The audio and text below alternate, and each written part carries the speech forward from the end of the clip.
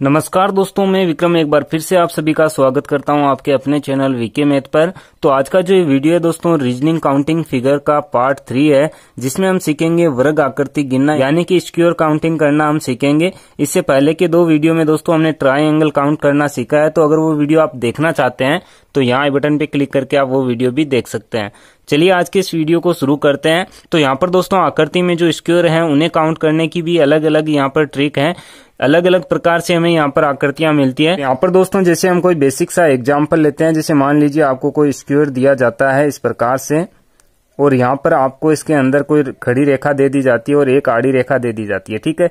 अब यहाँ पर देखिए, इसमें हम स्क्योर काउंट करेंगे। यहाँ पर देखिए बेसिक तरीके से कि यहाँ पर एक स्क्योर ये है, दूसरा ये है, तीसरा ये है, चौथा ये है और पांचवा जो ये बाहर वाला, बड़ा वाला स्क्योर है ये है ठीक है? तो इस आकृति में कुल कितने स्क्योर है? पाँच स्क्योर है, ठीक है? लेकिन अगर यहाँ पर दोस्तों मान लीजिए आकृति कुछ इस प्रकार से है तो इसमें हम किस प्रकार से स्क्योर है जो काउंट करेंगे? यहाँ पर देखिए, सबसे पहले बेसिक तरीका मैं आपको बताता हूँ, उसके बाद में मैं आपको ट्रिक भी बताऊँगा। तो यहाँ पर देखिए कितने स्क्योर हम गिन के देखते हैं। एक, दो, इसके बाद में यहाँ पर आ गया तीन तो चार, पाँच, छह, सात, आठ, नौ, ठीक है? तो नौ स्क्योर तो इसके अंदर बन रहे हैं, ठीक है? और एक हम इसमें बड़े वाला ले लेते हैं जो बाहर वाला है तो यहाँ पर प्लस एक हमने कर दिया तो कितने हो गए? दस स्क्योर ठीक है? लेकिन यहाँ पर दोस्तों अंदर भी कुछ स्क्योर बन रहे हैं। जैसे यहाँ पर देखिए, एक, दो, चार, पाँच को मिलाया जाए तो यहाँ से एक स्क्वेयर हमें मिल रहा है, ठीक है? तो इससे कितने हो जाएँगे? दस और एक ग्यारह। उसी तरीके से दो, तीन, पाँच, छह को यहाँ पर मिलाया जाए तो एक स्क्वेयर यहाँ पर भी बन रहा है तो इससे कितने हो जाएँगे? बारह। और इसी तरीके से दोस्तों, नीचे को आधार मानकर हम देखें तो यहाँ पर देखिए, चार, पाँच, आठ और सात को मिलाया जाए तो यहाँ पर स्क्वेयर बन रहा है तो ये तेरह हो जाएँगे। और पाँच, छह, आठ, नौ को अगर मिलाएँ तो यहाँ पर भी एक स्क्वेयर बन रहा है तो यहाँ से टोटल कितने हो जाएँगे? इसमें चार और एड हो जाएँगे तो चौदह स्क्वेयर इसमें कुल बन रहे हैं, ठीक है? लेकिन यहाँ पर दोस्तों ट्रिक क्या है? ये देखिए, जैसे इस प्रकार से आपको आकृति दी जाती है जिसमें रो और कॉलम बराबर होते हैं, यानी कि पंक्ति और स्तंभ बराबर होते हैं। अब यहाँ पर दोस्तों, रो और कॉलम क्या होंगे? जैसे यहाँ पर देखिए, पहली पंक्ति ये है, ठीक है? जो इस प्रकार से दोस्तों क्षतिज है, यहाँ पर देखिए, एक ये है, इसके बाद में दूसरी पंक्ति हमारी ये है, इसके बाद में तीसरी पंक्ति हमारी ये है।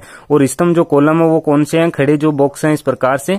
तो यहाँ पर देखिए, एक, दो और तीन स्तंभ है, और तीन यहाँ पर पंक्तियाँ हैं, जैसे एक, दो और तीन, ठीक है? तो यहाँ पर हमें क्या करना है? जो एक साइड हमने नंबर लगाए हैं, उनका हमें स्क्योर करके जोड़ देना है। तो यहाँ पर देखिए, एक, दो और तीन हमने नंबर लगाए तो एक का स्क्वेयर प्लस दो का स्क्वेयर प्लस तीन का स्क्वेयर। तो इन्हें हम जोड़ेंगे तो क्या होगा देखिए, तीन का स्क्वेयर हो जाएगा नौ प्लस दो का स्क्वेयर हो जाएगा चार प्लस एक का स्क्वेयर हो जाएगा एक। तो चार और एक पाँच पाँच और नौ कितने हो जाएँगे? चौदह। तो इस प्रकार से भी हम इसके आंसर निकाल सकते हैं। तो यह है दोस्तों इसकी ट्रिक। यहाँ पर देखिए, इसी आकृति में मान लीजिए आपको चार चार का दिया जाता है, यानी कि चार कॉलम होते और चार ही यहाँ पर आपके पंक्तियाँ आपको दी जाती, यानी कि रो आपको दी जाती, जैसे यहाँ से आगे मैं बढ़ाता हूँ तो यहाँ पर देखिए, एक, दो, तीन, चार हो जाएँगे, और यहाँ पर हम बढ़ा देते हैं, चार यहाँ पर हम कर देते हैं तो यहाँ पर भी देखिए, एक एक, दो, तीन और चार हो जाएँगे। तो यहाँ पर हमें क्या करना है? यही तरीका रहेगा। एक साइड में जो हमने नंबर लगाए हैं, उनका स्क्योर कर दो और जोड़ दो। तो यहाँ पर चार का स्क्योर भी इसके साथ जुड़ जाएगा, यानी कि चौदह में सोलह और जुड़ जाएँगे। तो यहाँ पर दोस्तों हमारा आंसर आएगा तीस, ठीक? तो इस तरीके से दोस्तों अगर आकृति में आपको बराबर रो और कॉलम में स्क्योर दिए जाते हैं यहाँ पर जो हमने स्क्योर के नंबर लिखे हैं, उनका स्क्योर करके एड करना है। यहाँ पर तो हमें रो और कॉलम बराबर मिल गए हैं तो हमने इस ट्रिक से क्वेश्चन सोल्व कर लिया। लेकिन मान लीजिए, अगर आपको इस तरीके से नहीं दिया जाता है, जैसे यहाँ पर हमें फोर बाई फोर मिला है, यहाँ पर मान लीजिए आपको चार कॉलम दिए जाते हैं, यहाँ पर केवल तीन पंक्तियाँ दी जाती तो वहाँ पर हम किस तरीके से करते चलिए दूसरी आकृति से हम इसे समझते हैं। अब यहाँ पर देखिए इस आकृति में हमें चार कॉलम दिए गए हैं और तीन यहाँ पर हमें पंक्तियाँ दी गई है यानी कि तीन यहाँ पर रो है और चार यहाँ पर कॉलम है तो यहाँ पर हम किस तरीके से करेंगे यहाँ पर दोस्तों ट्रिक क्या है कि हमें जो कॉलम और रो दिए गए हैं उनके हम लास्ट अंक को देखेंगे तो यहाँ पर दोस्तों देखिए लास्ट जो रो है वो तीन नंबर है और यहाँ पर लास्ट जो कॉलम है वो चार नंबर है तो इनका यहाँ पर हमें क्या करना है यहाँ पर हमें इनका गुणा करा देना है ठीक है तो तीन का गुणा हम चार से करा देंगे उसके बाद में आगे वाला लेना है तो आगे है दो और तीन तो यहाँ से हम क्या करेंगे दो और तीन का गुणा करा देंगे ठीक है? दो और तीन का हमने गुणा करा दिया, इसके बाद में एक और दो बचा है तो एक और दो का गुणा करा देंगे।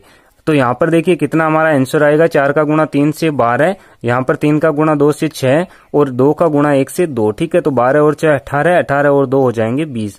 तो बीस यहाँ पर स्क्वेयर बनेंगे। तो इस तरीके से दोस्तों, अगर रो और कॉलम हमें बराबर नहीं दिए जाते, वहाँ पर दोस्तों हमें इस तरीके से करना है और जो स्क्वेयर है, उनकी संख्या निकालनी है। यहाँ पर दोस्तों एक चीज़ और है कि यहाँ पर देखिए संख्याएँ हैं जो बराबर आ रही है कि एक पर यहाँ पर जो है खत्म हो रहा है, ठीक है? कि यहाँ पर मान लीजिए आगे भी आपको एक कॉलम बढ़ा के दे दिया जाता है तो वहाँ पर हम क्या करेंगे, ठीक है? तो यहाँ पर पाँच होता मान लीजिए तो इसके लिए हम क्या करते चलिए, इसका एक अलग एग्ज़ाम्पल से मैं आपको बताता हूँ। यहाँ पर देखिए, जो हमारे पास आकृति है, उसमें हम देख सकते हैं कि जो कॉलम है, उनकी संख्या ज़्यादा है, जैसे एक, दो, तीन, चार, पाँच, छह, सात यहाँ पर कॉलम है और यहाँ पर जो रो है वो चार है, ठीक है? तो यहाँ पर दोस्तों क्वेश्चन है जो किस तरीके से सोल्व होगा।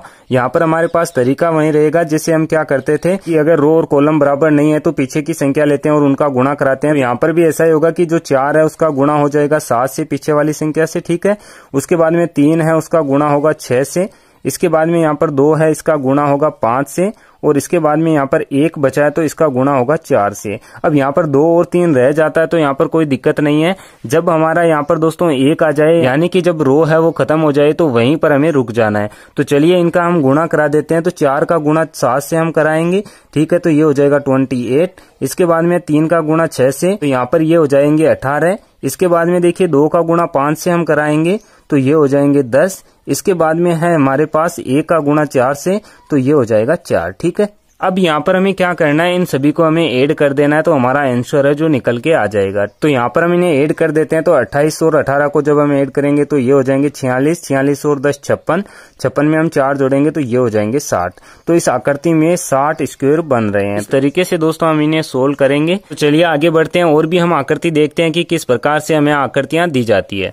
तो यहाँ पर जो हमारे पास आकृति है वो कुछ इस प्रकार से है, जिसमें हमें दोस्तों स्क्वायर के अंदर स्क्वायर दिया गया है तो इसमें हमें ये देखना है कि यहाँ पर कितने स्क्वायर बन रहे हैं। तो यहाँ पर दोस्तों आपको स्क्वायर को गिनने की आवश्यकता नहीं है। यहाँ पर जैसा कि मैंने आपको बताया कि अगर कोई स्क्वायर होता है और उसके अंदर प्लस का चिन्ह हो तो यहाँ पर कितने स्क्वायर बनते हैं इसमें? एक, दो, तीन, चार और एक ये बाहर वाला कितने हो जाएँगे? पाँच स्क्वायर इसमें बनते हैं। तो यही आकृति यहाँ पर हम देखें तो यहाँ पर बन रही है कि जो बाहर वाला स्क्वायर अगर हम लें तो इसके अंदर देखिए प्लस का चिन्ह है। इससे कितने स्क्वायर बनेंगे, पाँच बन जाएँगे। अब यहाँ पर अगर अंदर वाला स्क्वायर हम लेते हैं तो इसके अंदर भी प्लस का चिन्ह है तो इससे भी कितने बनेंगे, यहाँ पर पाँच बन जाएँगे, ठीक है? तो टोटल यहाँ पर कितने स्क्वायर हो जाएँगे? दस, ठीक है? तो ये हमारा आंसर निकल के आ जाएगा। अब मान लीजिए आपको और एक स्क्वायर इसके अंदर दिया जाता है तो यहाँ पर क्या करेंगे? इसके लिए भी पाँच होंगे तो पंद्रह स्क्योर हो जाएँगे।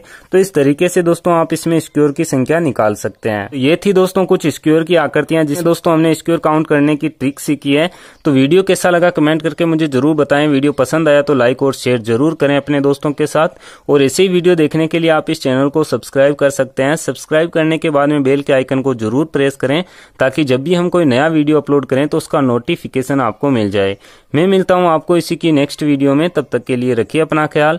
जय हिंद जय भारत वंदे मातरम।